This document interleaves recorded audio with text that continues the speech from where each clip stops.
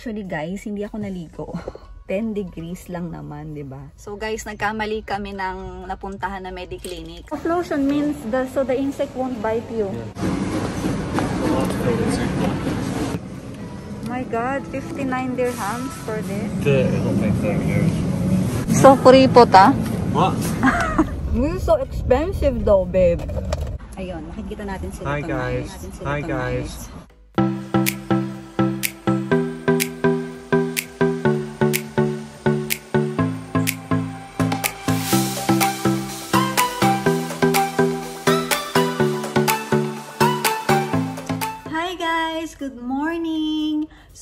Check, it's now 7 in the morning and it's a Saturday so it's still our day off. So guys, kahapon nagpunta kami sa King's College Hospital para nga ipa-check diba yung siko ni Habi na na-infect.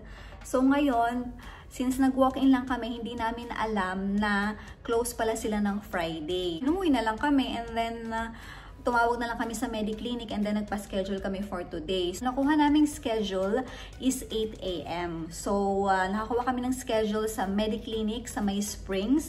So, medyo malapit-lapit lang yun dito, guys. So, for now, magtitimpla muna ako ng coffee ni Habi and then iinom ako ng mainit na tubig. Kasi, guys, every morning, umiinom ako ng mainit na tubig. So, maganda daw yun sa atin, lalo na kapag bagong gising and then wala pang laman yung tiyan natin. So, inom muna tayo ng warm or ng hot water.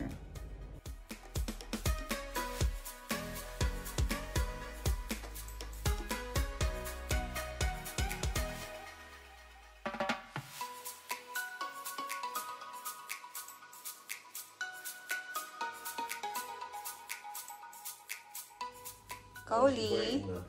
Yeah. It's waiting to go out.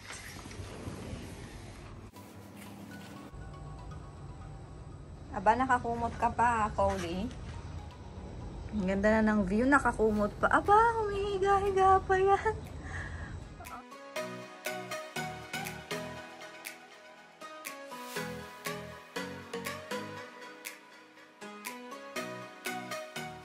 Hi guys! So, nandito na kami ngayon sa Mediclinic and time check, it's 7.55 in the morning. So, ang appointment ni Habi is 8 a.m. So, 10 minutes before ng appointment niya, nandito na kami. Nakapark lang kami dito sa parking.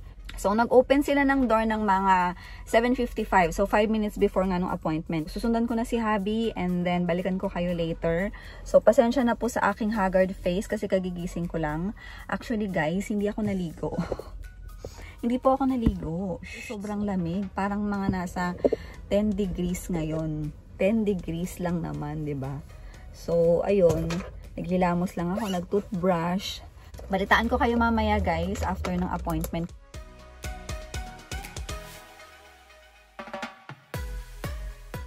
So guys, nagkamali kami ng napuntahan na Mediclinic. So dalawa pala yung Mediclinic dito sa Spring. So isa dun sa Meadows, isa dito sa Spring Souk.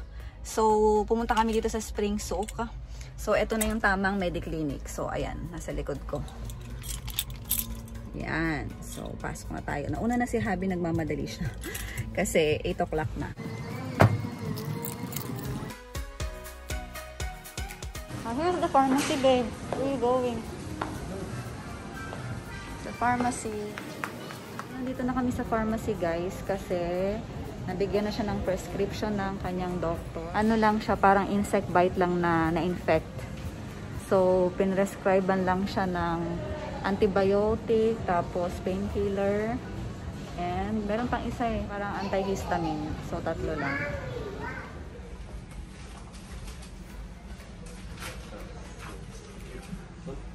Sabi niya ayaw niya sa video ko. Pero kapag hindi ko naman siya binivideohan, siya naman yung umi-epal guys.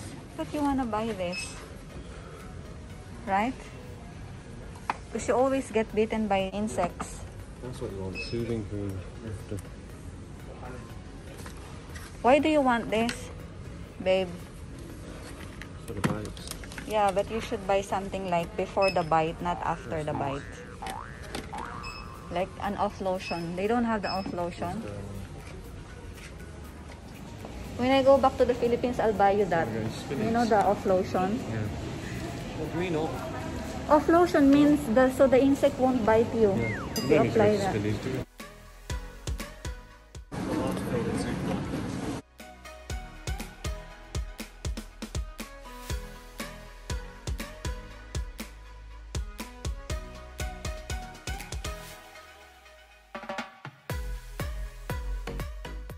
Mixed berry. Yeah. We'll have to. This one? Yeah, how much is it? It's Thirty. I'll pay thirty euros. so kuripot ah. What? So I'll just have this. Just, this is uh, papaya. Get some What's that? macadamia. How much? 52 They're dirhams? Expensive though. yeah. My god, 59 dirhams for this. What is this? I've not tried this before. Macadamia. Is it nice? to get those cheese ones? Is it nice? Yeah. Which one do you want? Since we're not going for breakfast, then buy me something like this.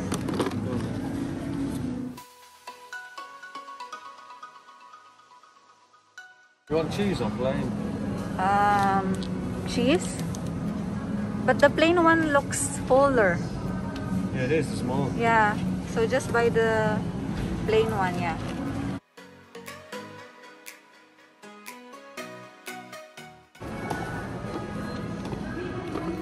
So we're gonna... Babe, it's working! Come on! See? Let me do it.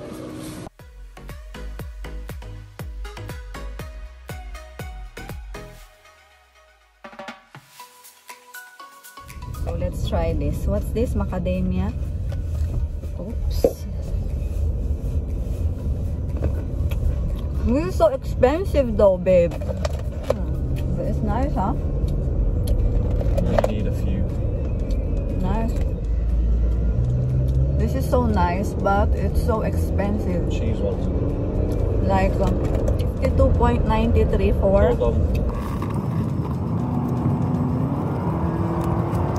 babe 52.93 for what's the weight? 380. What's it, what does it mean? Third of a kilo. Third of a kilo for 52.93. So it's like 600 600 pesos. 600 plus pesos, no?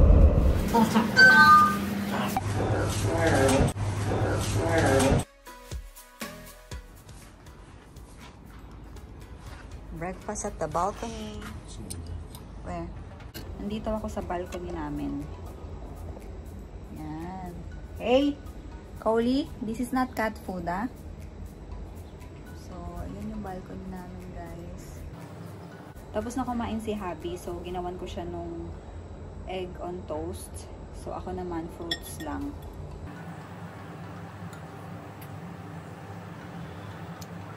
Tignan nyo guys, naka-jacket na ako tapos naka-blanket pa ako.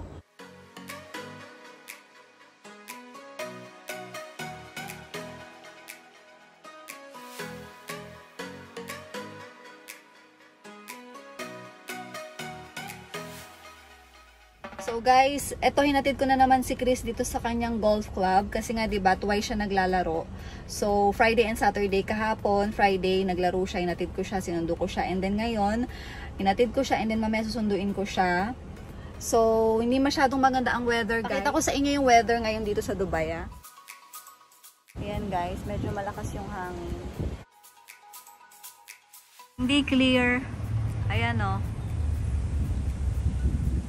Parang may sandstorm, guys.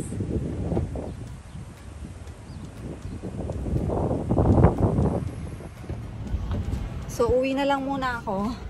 Anyway, hindi pa naman ako nakakaligo. As you can see, ito pa rin yung suot ko. As usual, siya na naman nag-drive.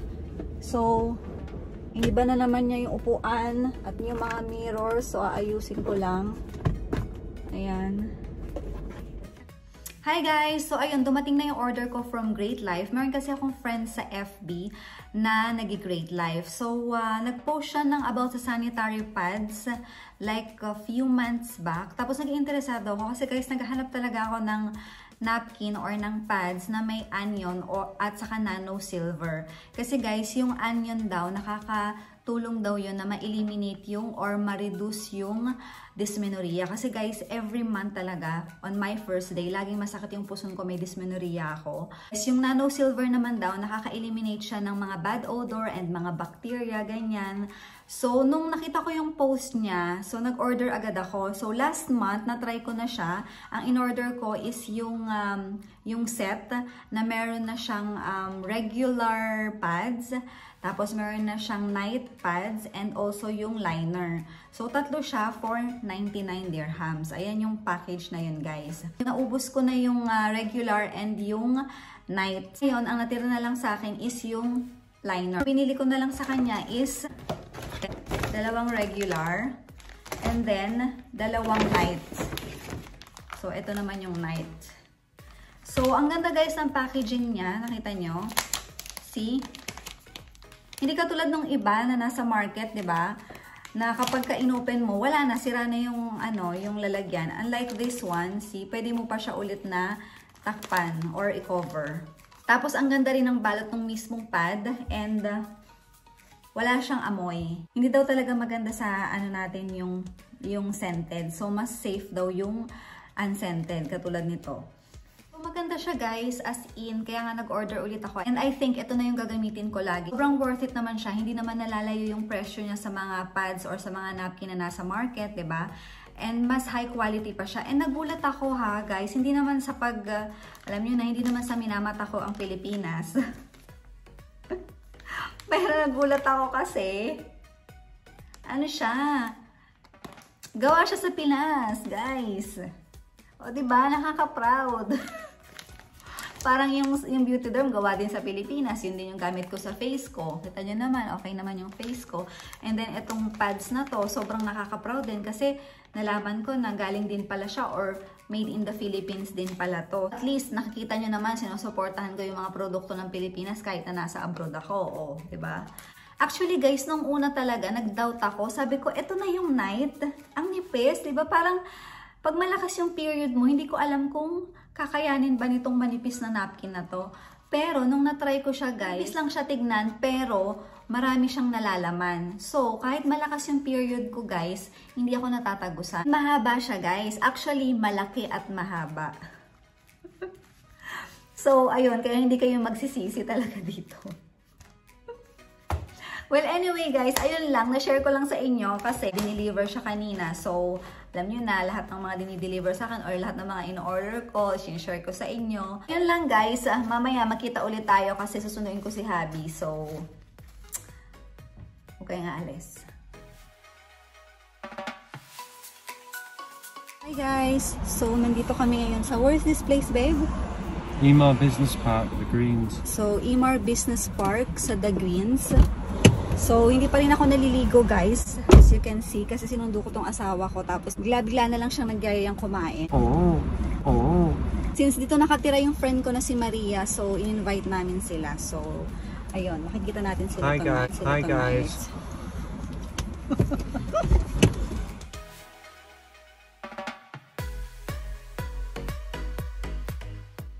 I'll just have some water.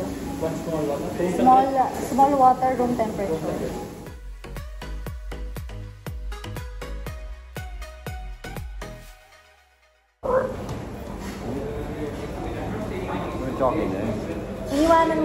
Asawa mo, Beshi. Hi. Hi. Right. How are you guys? Good. Yeah, yeah.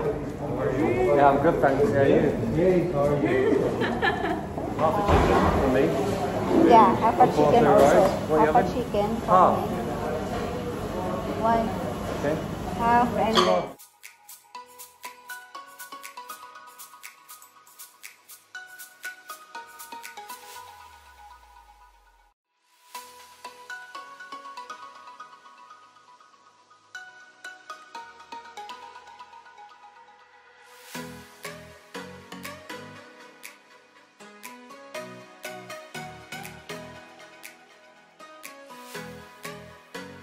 you just say hi first? Miss you. I miss you to be.